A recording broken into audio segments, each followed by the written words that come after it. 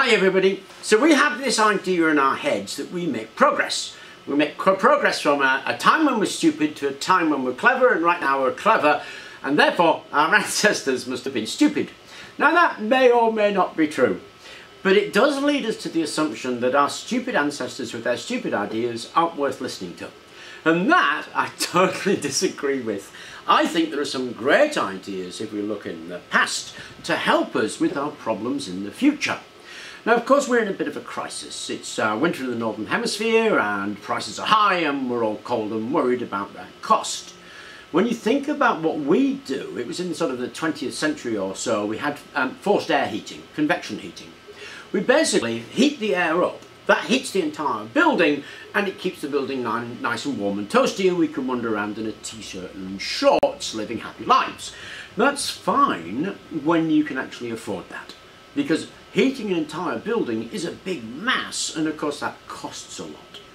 Now our ancestors didn't rely on convection heating. They relied mostly on conduction and radiant heating. If you're not quite sure what I'm talking about, have a look at video 1758 where I go into a bit more depth about the different types of heating styles they are. But radiant heating is basically an open fire that radiates heat at you. Conduction heating is basically a, heat a brick and sit that on your lap and you're going to get warm because it conducts the heat through.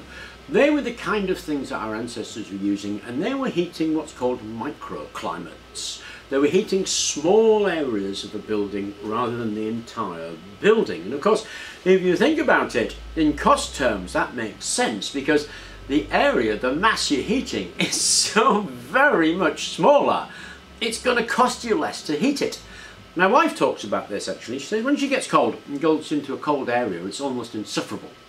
But if she's warm and goes into a cold area, she can do what she needs to do and then come back and get warm again. And we all know that. Just go out in winter and make a snowball. When you're freezing, come back in and warm up. Then you can go back out into the cold again and have some fun. So it's a, a very sensible strategy that we use when we're outside versus inside, but we're not really using when we're inside. But our ancestors, well, that's exactly what they did. Now when you think about heat from radiation, infrared heat, of course there are a couple of issues there. One is uh, it goes down by the square of the distance because it's all radiating out like that. It gets very much weaker the further you are away you are from that radiant heat source. And the other is radiant asymmetry so if you're facing a radiant heat source and it's bathing you nicely in its radiation like getting a suntan that bit gets warm. The back bit gets cold. And so you want to put yourself on a spit and turn around so that you get the other bit warm because it's asymmetrical in the way it actually hits you. Because none of this escaped our ancestors. What they would do are some very clever tricks that involve manipulating those two aspects of things. Perhaps the first one, quite simply, a hooded chair. A hooded chair solves two problems at once it creates a microclimate by insulation and being near the radiant heat source, that is near the fire, it traps effectively more of that radiant heat. Apparently wearing these, uh, using a hooded chair is equivalent to wearing a thick jumper and a thick coat indoors. So pretty effective and you do pretty much the same kind of thing if you get a radiant heater and stick it under your desk. What you're doing is creating a microclimate under that desk and of course the desk has got a backboard in it so the heat only has one way to go and that's to wash over you while you're sitting in a chair which is no reason that you feel so much toastier if you put a radiant heater under your desk. You're doing exactly what our ancestors did with things like hooded chairs. Another way of creating a microclimate was something like a folding screen. They were winter furniture, dragged out, heavily padded or made of thick wood, and they were put behind you so that the radiant heat was bounced back at you, and you didn't get a draft up your back to take care of the radiant asymmetry.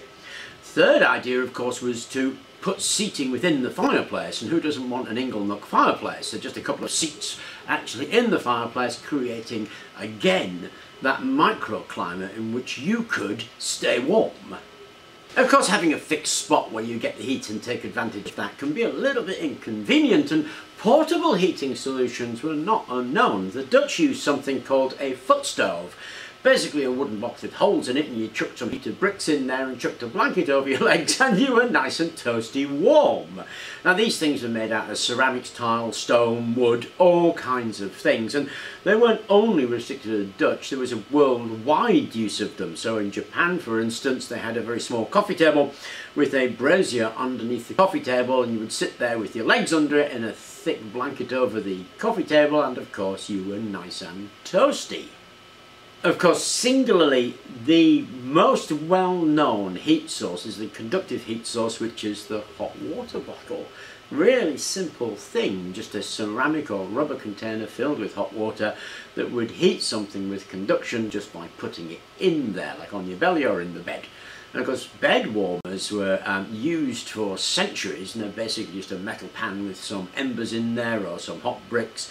Stick it in the bed and let the bed warm up. And of course, beds at that time had heavy drapes around them to create that microclimate that we've been talking about.